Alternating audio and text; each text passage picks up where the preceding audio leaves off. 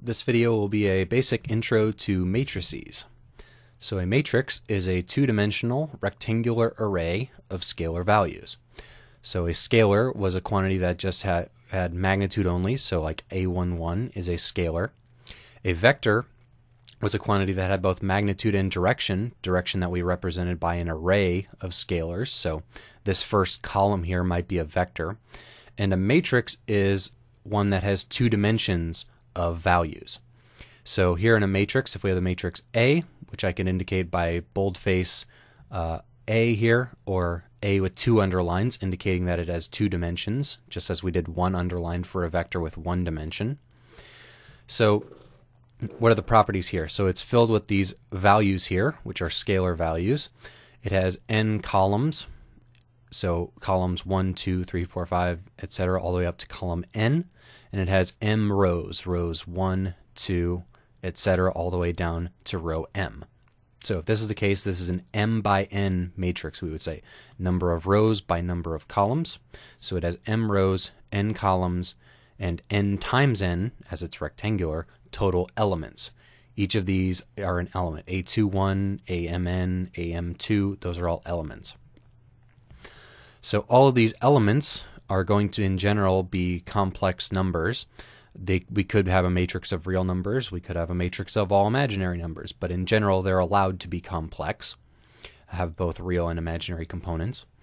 And this AMN is the element in row M and column N. So the first the first subscript indicates what row it's in, and the second subscript indicates what column it's in.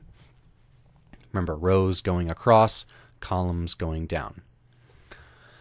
All right, so what are some uh, useful things we can do with matrices? So just as with vectors, uh, we can add matrices together. So what happens when we add a matrix A and a matrix B? So we'll have A plus B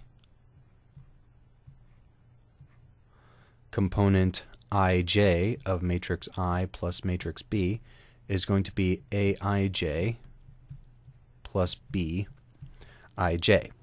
So for a matrix, you have to you're just taking the individual components and you're adding them together when you're adding two matrices. So this means that we must have we must have the number of columns of A equal the number of columns of B and the number of rows of A equal to the number of rows of B. So if these matrices do not have both the same dimensions in the number of columns and the number of rows, then we cannot add them together. So in order to be added, that must be the case. So just to write that out a little bit more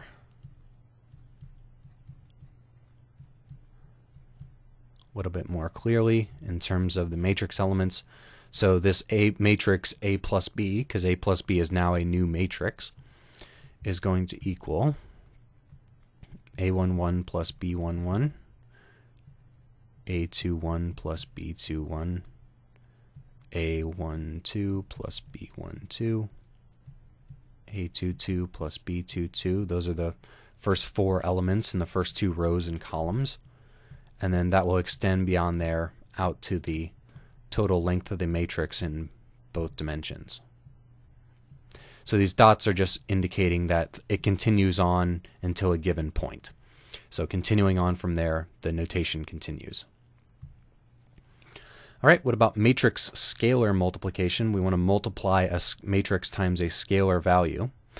So what if we have alpha times A what are the components of that? And that, luckily, just as with matrices, or just as with vectors, works out to be the same as well. You just multiply each individual element by alpha. So if I have alpha times A, that's going to be alpha A11, alpha A12, etc., alpha A21, alpha a 2 2 and etc in all the dimensions that we go for our matrix. All right, that's matrix scalar multiplication. You can multiply any scalar times any matrix. A scalar doesn't have any any magnet doesn't have any direction, so you can just multiply any scalar times any matrix you like. No restrictions or special rules there. Right, matrix vector multiplication. So we can multiply a matrix times a vector. Here's where order starts to matter. All right, so I guess we can say we have a, let's say we have a vector called D. So what is the result of A times D?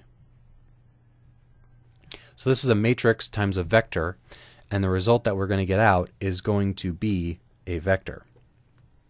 So what is this going to be? So the components of that vector, component i, will equal sum over j a ij times d j. All right, so what do we what is what does this look like if we kind of represent this out? So we have our matrix A and its columns, however many columns it happens to have. And we have our vector D and this is going to equal some new vector. Let me put dots for the individual components of that vector. So if I want to get the first element of this vector, according to this formula, what I do is I multiply the first element of the first row times the first element of D, then the next one times the next one, the next one times the next one, going down the row and down the column, and then sum up all of those products in order to get the first element here. For the second one, I multiply and sum the second row times the times the vector again. Third one, I multiply the third row times the column vector. Fourth row times column vector, etc., until I've gone down all of my elements here. So what does this mean as far as restrictions for the elements here? This means that the number of columns of A equals the number of elements of D.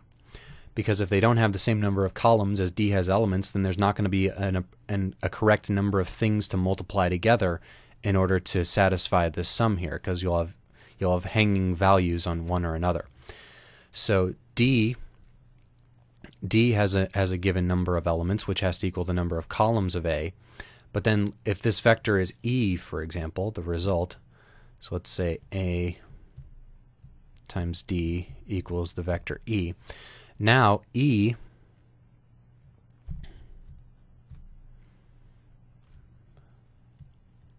So the number of rows of A equals the number of elements